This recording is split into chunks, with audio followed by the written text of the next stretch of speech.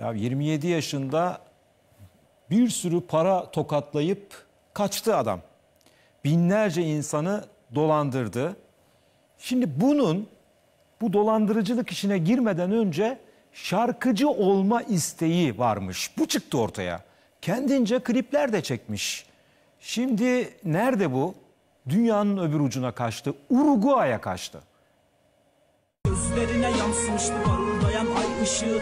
Bir kaydı hani dileğim sen ol ışığım. Daha onu kimse tanımadan önce romantik sözleriyle, Gözlerinde yaşlarla unutulan aşklarla amatör klipleriyle, Yokluğuna boğuldum ben hasar gördü aşk gemisi. Rap söyleyerek şöhret basamaklarını bir bir tırmanmanın peşindeydi. Artık dönmeyi deneme çünkü kalbim bende değil Çiftlik Bank'ın tosunu Mehmet Aydın müzik macerasında dikiş tutturamadı. Olan da hayal sattığı Çiftlik Bank üyelerine oldu. Kazançlarını bereketli eyle.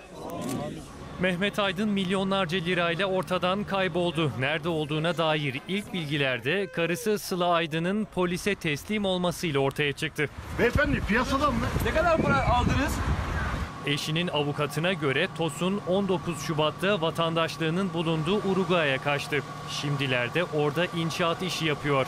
Biz de yatırım yaptık ama yatırım yaptık biz de gittik yani. Kime gittik? Karısı boşanmanın, mağdurlar paralarını alabilmenin peşinde. 50 bin lira. İstanbul'dan cinayete kadar gidecek yani. Şimdilik elde olansa Mehmet Aydın'ın söylediği şarkılar.